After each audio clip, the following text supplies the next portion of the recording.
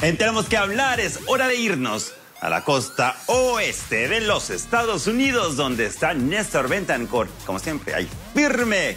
Es que tenemos que hablar de Hollywood. Hola Néstor, ¿cómo estás? ¿Qué tal, Alfonso? Te mando un abrazo grande a ti, toda la gran teleaudiencia. Tenemos que hablar el día de hoy, tenemos que hablar, por supuesto, de Finding Dory. Nos encontramos en la Premier Mundial aquí en el corazón de Hollywood. Esto fue lo que nos dijeron aquellos que trabajaron en la secuela de Pixar y Disney. Don't cry, mommy. Don't cry. Trece años después del estreno de Finding Nemo, los pececitos más queridos del mundo del cine regresan en una nueva aventura centrada en la olvidadiza Dory, quien se embarca junto a sus amigos en un peligroso viaje buscando a sus padres. Sobre la alfombra azul, frente al teatro El Capitán de Hollywood, comenzamos hablando con la escritora Victoria Strauss.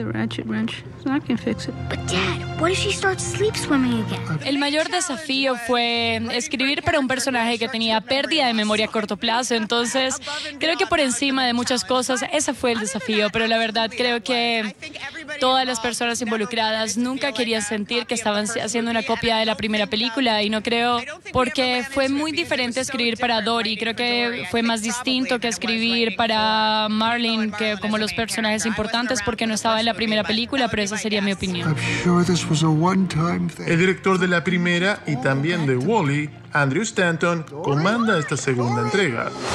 I remembered something. That's not possible?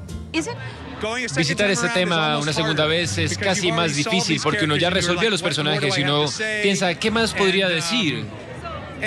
Y si uno ya lo ha hecho bien, uno siempre está interesado en otros nuevos territorios, otra nueva dirección en la que uno no ha estado antes. Siempre es como, yo diría que es como llevar a alguien en carro sin ningún mapa, es eh, lleno de baches y uno se da cuenta que está en el lugar apropiado.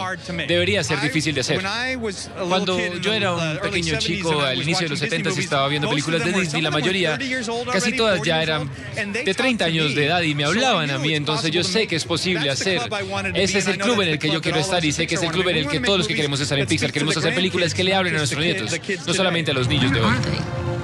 Dory, there you are! La voz de Nemo llega a cortesía del pequeño Hayden Rollins. Now take it into whatever this place is. It's official.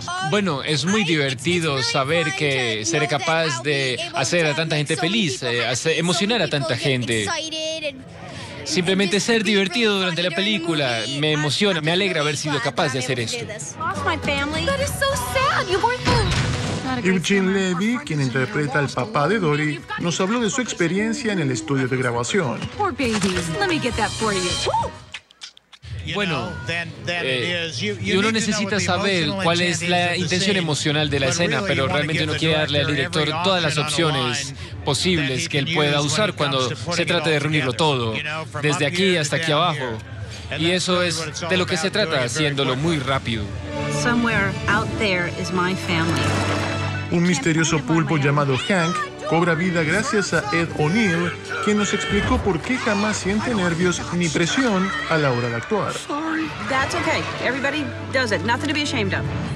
Es como la vez que escuché de un gran luchador alguna vez, su nombre era Jack Dempsey, un gran campeón del mundo peso pesado. Y le preguntaban, ¿no parece que te enojes con tus oponentes? ¿Tienes que enojarte con ellos? ¿Qué tal si te caen bien? Y él dijo, todo el mundo recibirá lo mismo. Y es algo así con el, con el mundo. No importa realmente lo que estamos haciendo, incluso si tenemos la sensación de que queremos hacerlo bien, igual lo vamos a hacer. Vamos a hacer cada trabajo también como sea posible. Eso es todo lo que podemos hacer. Su compañero en la serie Modern Family, Ty Burrell, compartió su felicidad por ser parte de la cinta como la ballena Bailey. Una chance de trabajar con Pixar y con Andrew y con Lindsay y Angus, que son los productores, escritores, directores. Simplemente es eh, una gran emoción para mí y el proceso fue eh, tan emocionante como creí que iba a ser. This was a one-time thing. So can we just all go back? Con su característica y contagiosa energía, la mismísima Dory, Ellen DeGeneres, se refirió a la película y su personaje. Que cómo me siento, me siento increíble, se siente increíble. Nadie más está aquí en la alfombra, soy la última persona hablando, siento que ya debería irme, pero estoy muy emocionada, no puedo esperar para verla. Creo que es una gran película para los niños, obviamente, pero también creo que los adultos van a estar muy contentos de llevar a sus hijos a la película porque es muy entretenida, muy sagaz, es muy hermosa de ver, está en el, en el océano. Entonces simplemente estoy muy orgullosa de ella y sí, creo que hay mucha tristeza con su situación, pero ella no lo ve y para mí es hermoso porque mucha gente a la deriva, creo que aplica la situación de muchas personas y ese es su lema, sin importar la tragedia, porque ella no lo ve. I can't find him on my own. Alfonso, seguramente la película va a estar divirtiendo, pero también emocionando a los fanáticos de la primera y de Pixar en general. Así que una cita ineludible en la sala de cine. Seguimos compartiendo lo más animado del mundo del entretenimiento desde Hollywood. Te mando un abrazo. Chao. Muchas gracias, Néstor.